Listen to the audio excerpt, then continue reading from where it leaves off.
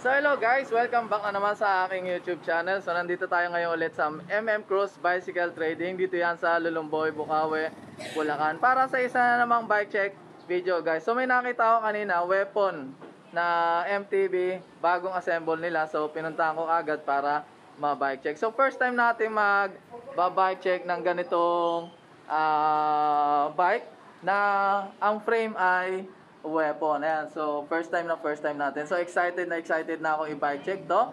So, wala na tayong intro-intro. Diretso agad tayo dito sa bike check na weapon. Dito yan sa MM Cruise Bicycle Trading.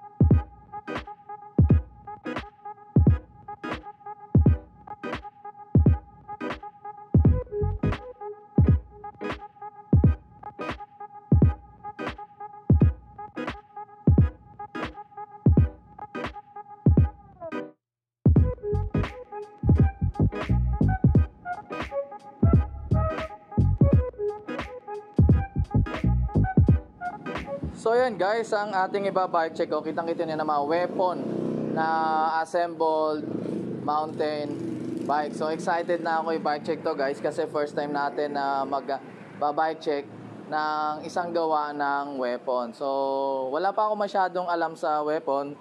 First time natin to. Kaya kung sakali may maibigay ako na maling information guys, pakitama na lang ako sa comment section. Ayan, simulan natin ang bike check syempre sa kanyang frame. So kung makikita natin, kitang-kita na kagad natin dito yung weapon na tatak. Ayan, so yung W niya, yung parang ano yata to, ah, parang tinidor ni Aquaman. Ayan o. So pag kinapa ko to, ah, decals to guys. Ayan. So pintura siya. Wala siyang ano, wala siyang texture. Yung tatak na weapon. Ayan o, hanggang dito. Yung pinaka-tuktok ng tinidor niya. Ganyan ang tinidor ano. Ayan. Sa baba, wala. Ayan, wala. Wala akong makikita sa baba. Ang shape nito guys, hindi ko masabi kung bilog ba. Or ano. Ayan, pero curve dito. Ayan, curve. Tapos, parang pakitid na rito. Ah, may curve dito. Tapos, ito yung kakaiba niya guys, oh. Ito. Kadalasan sa frame na nakikita ko guys, diretso. Diretso rito. Ito, meron dito. Ah, nakita ko yung ganitong design na frame, guys. Sa mga ano trail bike, yung full suspension na frame. Pag ganito yung ano nila, yung down tube. Ayan. Sa kadalasan na babike check natin, 'di ba, yung mga mountain bike, diretso lang siyang ganun. Tapos dito lang siya magbe-bend. Ayan. So, ang ganda, ang ganda oh dito. So, pwede mo lagyan dito ng ano yan, yung pump protection, yung nakikita natin sa mga full sus bike. At dito dumaan yung kanyang ah, kable para sa preno sa likod. Ayan. Okay. At internal cabling tayo guys dito isa. Ayan, isa rito. Tapos isa rito sa kabila. So bakante yan kasi naka one by lang tayo guys. Ayan oh, nakita nyo naman malabo. Ayan, linawan natin. Ayan, naka one by tayo. Etong nakikita nyo na kable pumasok dito, dito yan lumabas. Yan yung RD. Yan yung kable ng RD. Tapos dito lalabas naman yung ah yung bakante diyan. Ito, ayan. Para yan naman ngayon sa FD. Yan o. So dito meron yang stopper. Ayan. Para sa FD na clamp type. Ayan. At dito sa top tube niya guys, may nakalagay na medium. Ayan, medium. Linawan natin. Ayaw luminaw. Ayan, medium. Tapos, um, aluminum alloy. Hydroforming triple butted tube. So, tatlong puwet ang pwedeng umupo rito. Ayan, nakasulat. Six, ano to? Walang nakalagay guys kung anong material na alloy eh. Ayan naka, wala lang. Nakalagay lang siya aluminum. Ah, hindi. 66... 6069? Meron bang aluminum na 6069 guys? Ayan, pero nakita ko yo. Aluminum 6069 tubing. Ayan. So pa-comment na lang ako guys kung may alam kayo sa aluminum 6069 para naman ma-educate naman ako yun guys oh. At syempre dito sa kanyang chainstay, ganun pa rin malapad. Yan ang lapad nito oh. Tapos pakitid dito, may nakalagay dito made for war. So ganun din pag kinapa mo to, para din siyang sticker. Syempre may bridge yan. Nandito oh, ayan oh. Ang layo pa ng clearance guys. Malayo pa, tas may clearance pa dito. So, ayan, may clearance pa rito. Ang nakakabit dito na gulong guys ay 2.40. So, base dun sa clearance, pwede pa kayong gumamit ng mas malapad. Kung may mas malapad pa sa 2.40. 2.40 na tong gulong natin. Pang trail to guys. Ayun. Kasi yung frame niya guys, eh dito, yung sinasabi ko nga sa inyo kanina, para siyang full sus. Siguro ready na to pang trail. Ah, ito yung kanyang ano, yung pinagkakabitan ng ah, dropout. Taas nito. Tapos biglang dito, curve. Tapos may mga arrow-arrow dito papunta ron. Yan. Nakalagay dito, weapon. Yan. Ah, pa-oblong to guys. Tapos meron ditong, oh yung gara. Hindi ko malaman kung bridge ba to. Yan, wala kasing butas dito. oh. Galing nito. Hmm. At ito guys.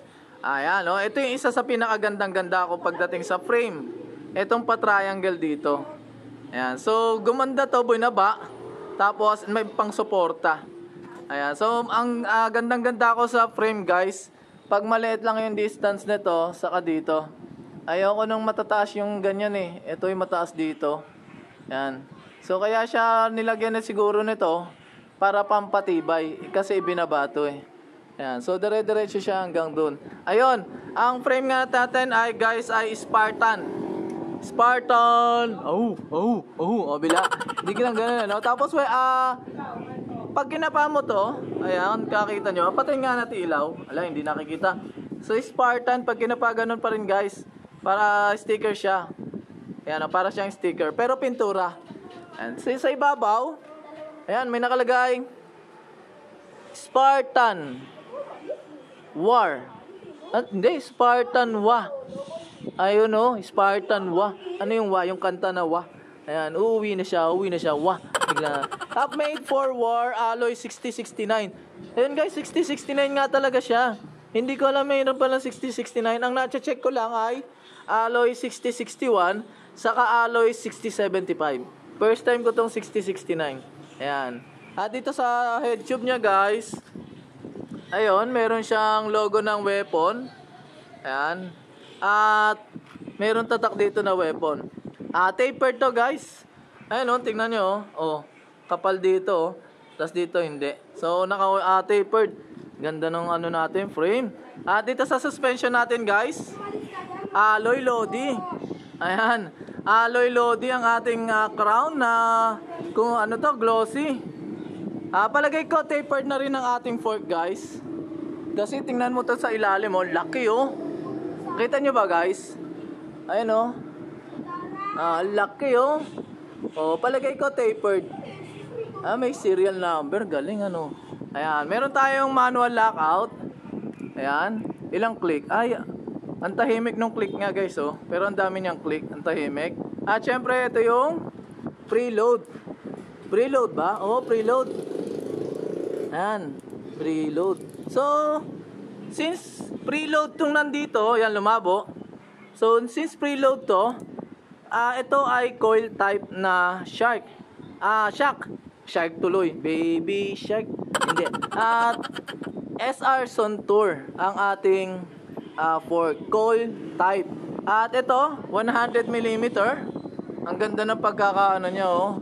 Silver niya guys. Alloy. Ito, magnesium alloy. 27.5 boost. Ayan. Hindi ko alam kung ano yung boost. Pero alam ko yung boost eh, ano eh.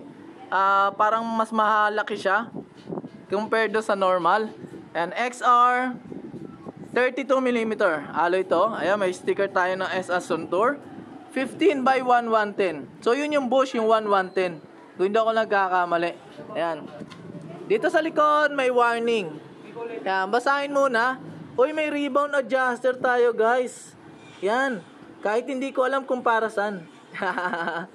Ayan, rebound adjuster. Pero from the word rebound, siguro yung ano na, adjust mo yung pagkaka-bounce, bounce, bounce mo. Bibla, bounce, bounce, bounce. Ah, true axle. Ang ganda ng ano niya, guys, oh. Itong, ano, basta ito, yung tornilyo, ano, ang ganda, oh. Oh, di ba? At ang ating hubs. Uy, Fabno. Fabno. Fabno ba? Fubno. Ayan, pakicorrect na lang tayo, guys. Fubno, Fabno. Ah, silvering, idol. Ang ganda dito, guys, oh. Nakikita nyo? Silvering, idol. Ayan, alloy to. Alloy Lodi. Bilangin natin yung tasbo.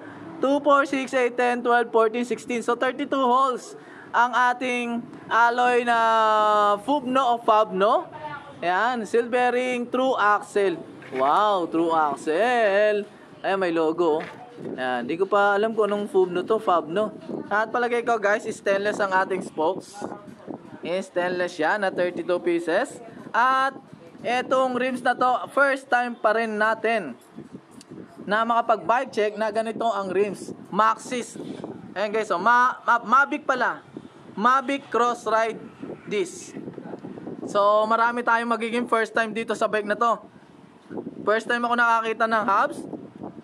Uh, first time tayo nakakita ng rims na Mavic. Ayan, ganda nito. Mavic Cross Ride. At ang gulong natin. First time natin makapag-bike check na ganitong kakapal na gulong. Tingnan nyo naman. 27.5 by 2.40. Ang bigat nito. Ayan o. Tapos, ang kapal nito, ready na to sa trail. Ayan. Ang tatak niya, guys, CST. Ayun, eh, CST, guys, oh. Ayan, CST. Hindi ko makita kung anong uri ng CST, guys. Ayan, naka-skin wall ba tawag dito? Ayan, skin wall. At sa kabila, syempre, ganun din. Fobno ba to? Tingnan natin kung Fobno. Ayan. FH TX505 China. Tingnan natin kung ano yung hubs niya sa likod. Silip tayo. Ah, Shimano. Shimano tong likod. Di ko alam kung anong uri ng Shimano. Ayan. Shimano FX505. Ayan guys oh. FX505. Siyempre, alloy yan. Meron niyang groove yung parang sa NLEX. Ayun oh. Nahawakan ko siya. Quick release. Bilangin natin yung tasbo. 2, 4, 6, 8, 10, 12, 14, 16, 32 holes na stainless. Tapos, syempre, Mavic cross ride pa rin na double wall alloy na rim. Ayan. At CST na 27.5 by 2.40. At dito tayo ngayon sa Kags, guys. Ayan, napakatahimik ng hubs, oh. Nadidinig nyo ba, guys? Ayan, napakatahimik ng hubs na Shimano. Dito tayo sa Kags. Yung Kags niya, guys, sinilip ko, Shimano rin to. Hindi ko lang ma-check ko anong model. Napakahirap silipin kasi, guys, oh. Ayun, oh. Oh, di ba? Pero sigurado ko Shimano to. 1 2 3 4 5 6 7 8 9 10 speed. 11 to 32. Oh, tama nga tayo, guys. Ayan, Shimano 11 to 32 10 speed. At ito, first time pa rin natin na makapag-bike check ng ganitong RD Z. Ayan. Oh, di ba? Ang cute niya, guys. Oh, ang liit. Hmm, ang liit oh, pototoy. Ayan oh. Oh, di ba? Ang liit oh. Oh. Yung kaya natin nakikita ang haba. Ang haba nung ano niya dito. Yung kanyang tension. Ito, ang liit lang. Tapos, uh, oversize yung kanyang pulley. Ayan, oversize ito. Tapos ito oversize din. Ayan. Ang ganda na to. At isa pa guys oh, may nakita ko rito. Ayan oh, on. So siguro ito yung clutch. Ayan. So pag inon ko to, hihina tong pag ano pag slap nung chain. Ayan. So naka-off siya kaya nag-i-slap yan. Ayan. So ang ganda nito. Si, hindi ko alam anong model nito guys. Ayan. Basta ang ganda, promise. Bigla ganun, ano? At ito tayo sa chain. Ang chain niya, Shimano. Uh, HGX. Ayan. So, siguro ito, saka ito, saka yung hubs. Ayan, chain, kag, saka hubs. Iisang model siguro yan. Yan, tatlo na yan. At ito yung crankset natin, guys. Cole. Ayan, Cole na hollow tech. May, da, may, yun, may, may lagusan sa mundo mo. Ayan. So may butas yan. Uh, alloy ang ating crank arm, 170 mm. Tapos alloy ang ating chain ring, ayan, alloy CNC. 34 teeth. Siyempre, gawa yan ng coal. 104 ah, BCD. Ayan, ang ganda nito guys, oh. oh. Tapos, siyempre, cold din ang ating bottom bracket. Yan. At siyempre, dito tayo ngayon sa seat clamp, specialized. Ayan, specialized. So, tapos meron siyang ano rito, oh. Ah, protector. Para hindi malagyan ng alikabok yung pinaka ah, space nung ano pinagkakabitan no seat seat post. Ayan, seat post. Ito Saturn na seat post 31.6 350 mm ang haba. Ang ganda nito. Ayan, kapang-kapa mo. Ayan, kapang-kapa mo kahit madilim yan, makakapa mo yan. Kapal oh. Kapal nung parang pinto nung parang at pintura to guys. Pero pag kinapa mo parang decals. At ito yung at ano, clamp. Dalawang tornilyo. Ito yung clamp. Ganda. At etong upuan. Isa na nagagandahan din ako dito. Guys, cool. Manipis yung foam niya talaga guys. At mahaba. Haba nito oh. Yan. Ah, wala siyang ano, hi- wala siyang kanal. Ayan. At pamaypay na to. Parang pamaypay dito. Hmm. So, swak na swak to sa puwit mo. Yan. Kaya lang, pag maihi ka, mahirap na kung saan dadaloy. Sa kapag nautod ka, itataas mo pa rin yung puwit mo. Wala kasing hiwa dito, wala rin kanal.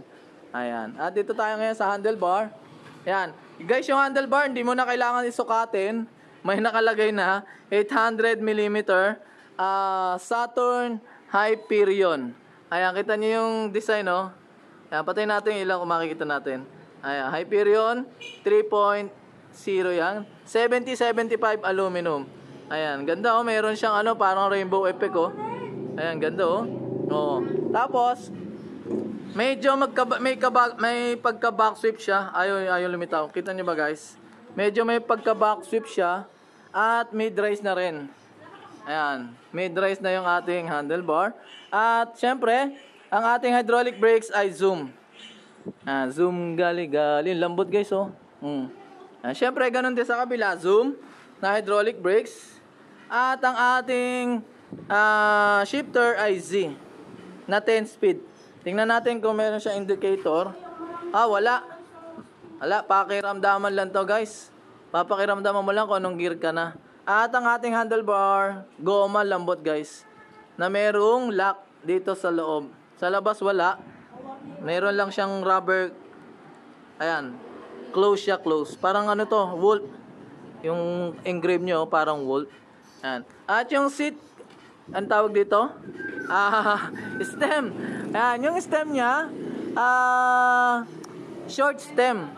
Hindi ko makita kung anong tatang guys, pero may nakalagay dito M, aluminum. Ayan, negative, positive 7. Na 31.8 ang clamping. Made of alloy na siya. Ayan. So guys, kung makikita nyo, ah, labas yung steerer tube. So hindi pa nila pinuputulan. Saka meron ditong spacer na madaming carbon. Ayan. Hindi pa nila pinuputulan at hindi pa nilalagay itong star nut. Siguro hinihintay lang nila merong bumili. At yung bibili na ang magde-decide kung gaano kataas yung kanyang stem. So dito na siya puputulan on the spot pag may bumili na. At syempre, seal bearing ang ating headset gawa ng Saturn. Ayan. Ano to? Machine. Machine. CNC machine. Ayan, ito yata yung size niya guys. 45-55 o 42-52. Ayan, nakalagay na yun oh. Di ba? Ang ganda nito oh. oh. Punta tayo sa ano sa caliper saka sa ah, lever. Ito guys yung ano 160 mm na rotor. Ayan, yung pangkaraniwang rotor na nakikita natin. At post mount na caliper na gawa ng zoom. Ayan, basta ang, ang gandang-ganda talaga ako sa caliper ng zoom. May pula kasi rito. Ang astig tingnan. At syempre sa kabila ganun din. 160 mm na rotor at post mount na caliper na gawa ng ah, zoom. Tingnan gara, ang gala nito guys oh. Yung Shimano na ayun oh, galing. Oh, na na-adjust siya. Wow, ganda. At ito ang galing ng ano niya oh, ng rotor niya. Hindi siya hindi tornilyo. True axle only. Ayan. Ah, hindi ko makita yung tatak. Hindi ko makita. Ito siguro hindi iniikot. Yung rotor guys, yung iniikot. Tingnan natin sa kabila kung di tornilyo. Sa kabila di tornilyo. Ayan. Pero yung sa kabila, ah iniikot siya mismo dun sa hubs. At ito yung kabila ng ah, crank arm. Ayan, coal.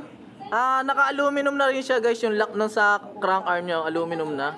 At ito yung pedal natin. Ang tatak ay Spedex. Kita niyo ba? Ayan oh, Spedex na sealed bearing. Ayan, ganda oh guys oh. Oh, di ba? So, palagay ko wala na ako nakakalimutan dito guys. Ang ganda nito. Promise oh. So ayan guys, ang ating bike check video ng weapon. Ayan, nakalimutan ko na. Ayan. Weapon Spartan na assembled bike. Siyempre dito yan sa MM Cruise Bicycle Trading. Ah, nagkakalaga nga pala to guys ng 46,000 pesos. Ah, ilalagay ko sa description guys yung kanilang contact number, Facebook link at Google Map. Ah, by the way guys, ah, highway. Ayan, meron nga pala silang ah, home credit dito. Ayan oh, si Ate Aiko. Ayan. Hello po mga kapadyak! Sugod na po kayo dito sa MM Cruise Bicycles Trading. Meron na rin kami available na installment dito via home credit. Ayun po. Ayan. So, ayan guys. So, hanggang dito na lang ang ating ah, bike check videos. Kita-kits tayo sa susunod. Huwag kalimutan pindutin ang like. Mag-comment na kayo kung anong masasabi nyo sa binike check natin na weapon Spartan na naka-Z na 1x10 na group set. Ayan. So, huwag kalimutan pindutin ang subscribe button guys. Road to 4,000 tayo. Ayan. 4, 4,000. Ayan. So, hanggang dito na lang guys. Maraming salamat sa panonood. Bye-bye.